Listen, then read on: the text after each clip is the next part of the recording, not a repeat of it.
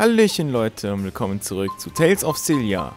Ich habe offscreen mal hier die Liliumkugel gemacht und so, weil das sonst zu viel Zeit verbraucht. Und wir suchen jetzt Gaius, aber zuerst Judes Wachstum. Watch your backs, everyone. Don't get complacent. Jude has grown into such a prudent young man. Really? Seems like he's been freakishly level-headed since the day he was born. I wouldn't say that.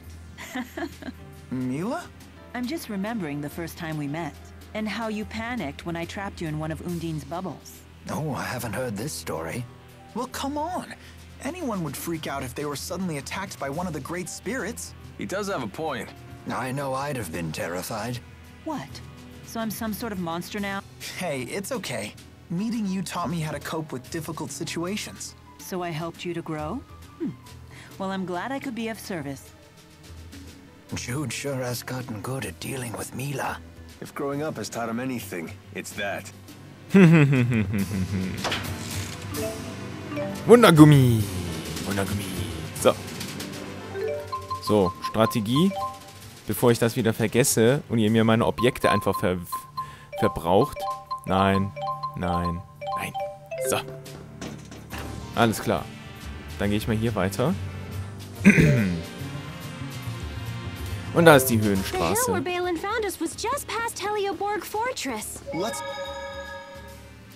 Gut, dann laufe ich da einfach mal schnell hin. Und hoffentlich, hoffentlich haben wir es dann auch bald. Ich will jetzt Gaius unbedingt verprügeln. Zusammen mit Musi. Ihr wollt zur Raso, äh, Rusail Höhenstraße? Dann geht einfach immer weiter hier entlang. Ja, das hätte ich auch ohne deinen Kommentar rausgefunden. Arsch. Alles klar, dann gehe ich mal diesen wunderschönen Weg entlang. Sorry to be such a burden back there. I'll try to be more careful. Boah, geschafft. Das wäre fast schief gegangen. Welkende Landschaften. Olympias doesn't seem to be any greener out this way. Nope. Pretty much everywhere outside the cities is like this. If anything, it's a little worse than I remember it. The lack of spirits must have broken the cycle of nature. To the people of Olympias, this is what nature looks like. When I first laid eyes on the forests of Rizamaxia, I could barely comprehend what I was seeing. So this is the world that Spyrix has given you. Go ahead and say it. We brought this on ourselves. That may be true, but still...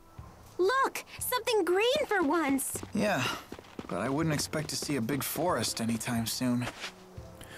So, eine kleine Höhle. Hoffentlich mit einer Truhe. Jo. Schmarrnkerl. Okay. Und da ist noch eine Höhle. Ich versuche mich mal durch all die Monster hier durchzuschleichen. Mal schauen, wie gut das funktioniert.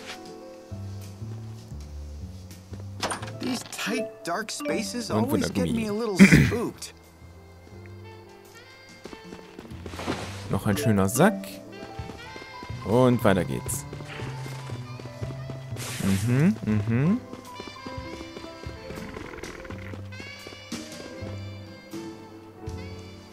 Dann sind wir auch schon beim mittleren Bereich. Müssen hier nur noch durch. Wie immer halte ich schon ein bisschen Ausschau, was hier so rumliegt. Mhm. Schwieriger Fragebogen. Let me make sure I have this straight. We use boosters to infuse spirit fossils with mana, and then a spyrite is born. Because unlike Spyrix devices, spyrites can use arts without harming spirits. Did you actually take notes while Balin was talking? Yes, but there are still things I don't understand. If there are things you actually do understand, then you're way ahead of me. I bet Teepo'd say, Hey, you need to study, Leia! Ah, but after that, he'd probably say, I don't understand any of this either. Probably. Hey, no Teepo impersonations! Ah, he heard us! You're both being rude. Elise, do you understand spyrite theory? Of... Of course I do.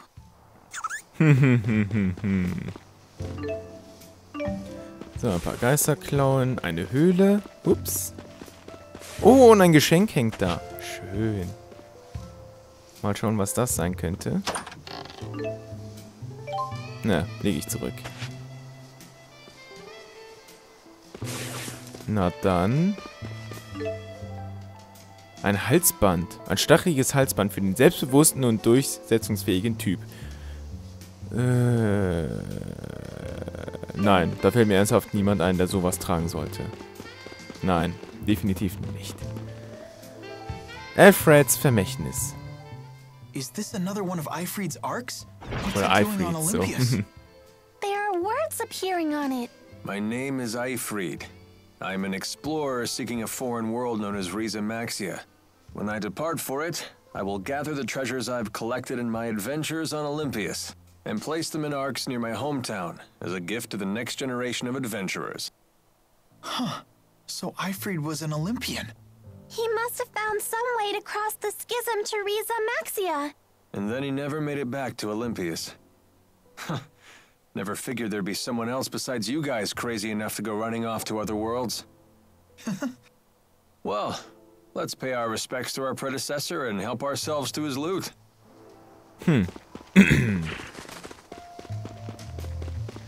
So, dann geht's hier weiter. Mal schauen.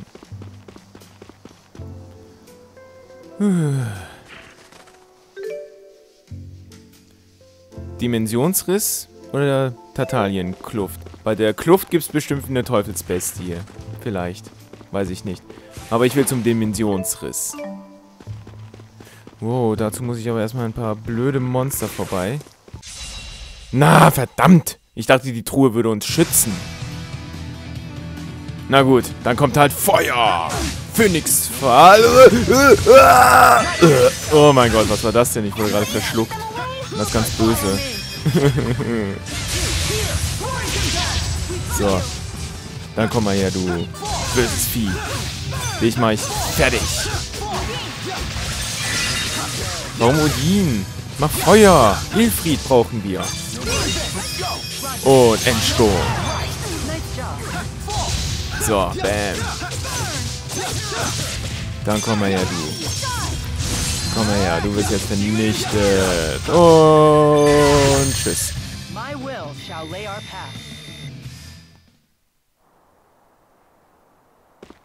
So, Truhe können wir in Ruhe jetzt aufmachen. Und da ist noch eine Höhle. Da gehe ich mal brav hin. Zugvogelfeder. Schön. So. Und jetzt durch all die Monster. Wow. Das schaffe ich schon. So, jetzt noch hier durch und dann kommen wir zum Dimensionsriss.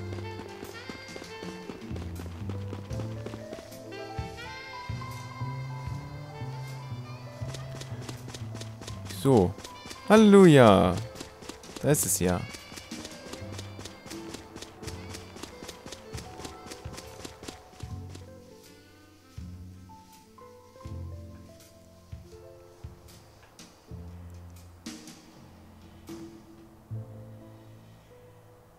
He said he found us sprawled at the foot of this hill.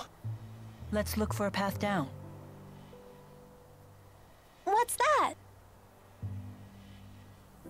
Must have fallen from there to the bottom of the cliff. Isn't the rift a little small?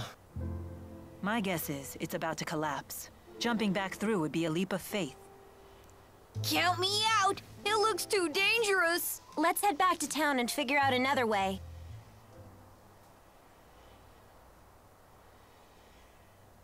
Hey, everyone.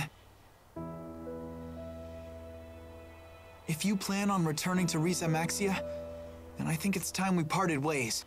What? What makes you say that all of a sudden? I know that we pulled off a successful Spyrite tethering together, and we found out some great news.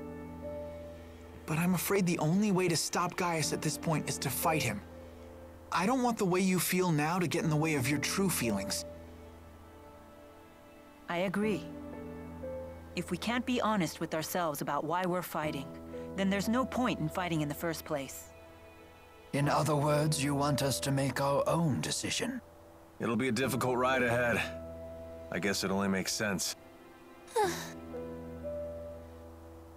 mind if I have some more time to think? At least until you're all ready to leave? Sure.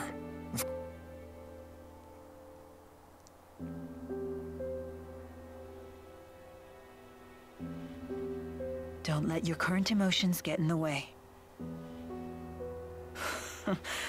I'm almost acting human. Mila? Sorry, it's nothing.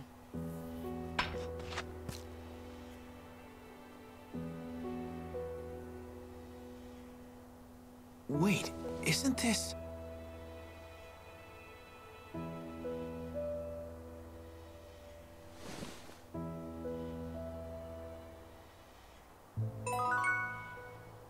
Zeit gewinnen.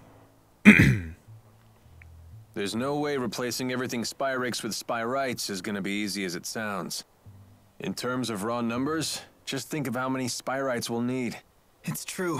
The Spyrites need to be researched, created, distributed. It won't happen overnight.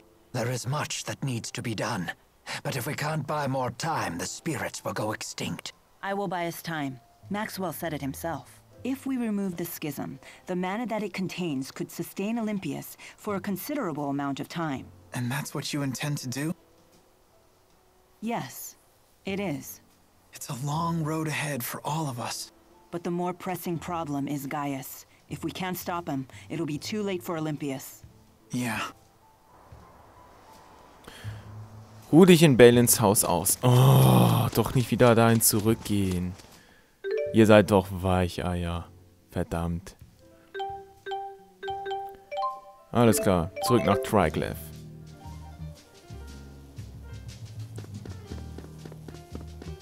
So, und ab ins Häuschen. Stimmt, das Geisterfossil ist abgefallen von Mila. Aber warum kann sie dann noch laufen? Merkwürdig.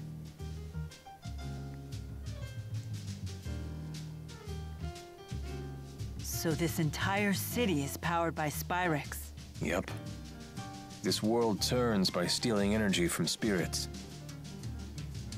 Olympias has been doing that since ancient times. That's why it's rich in spirit fossils and little else. How can everyone be so calm about killing spirits? With so many spirits gone, even nature is starting to... Olympians don't know that spirits create nature, or even that they're alive to begin with.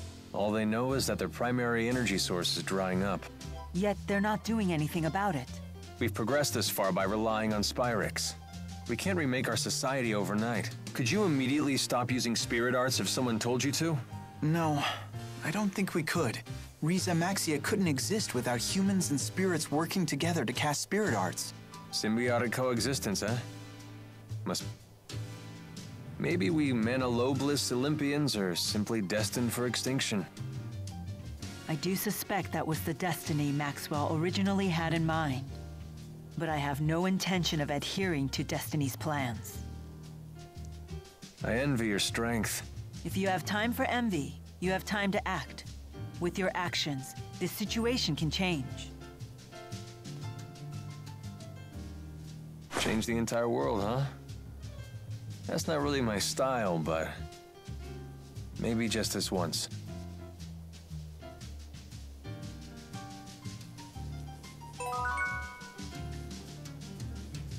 So, hier sind wir nochmal hier gelandet. Warum kann Mila noch laufen? Nicht, dass das äh, schlimm ist, aber ihr Geisterfossil ist abgefallen. Merkwürdig. Oh ja, wir können den Waffenladen noch aufstufen. Sehr schön. Rüstungsladen vielleicht auch? Oh ja.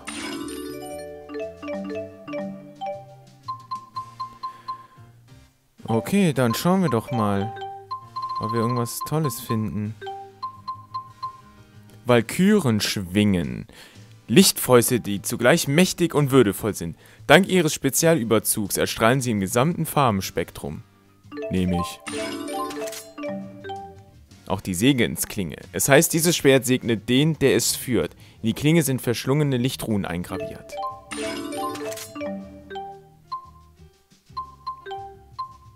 Ansonsten ist der Rest bedient.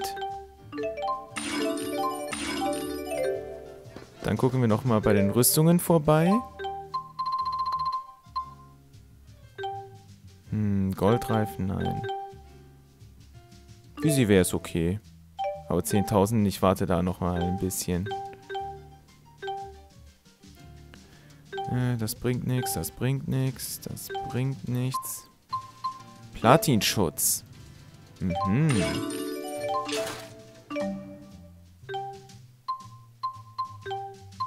Hexenkleid.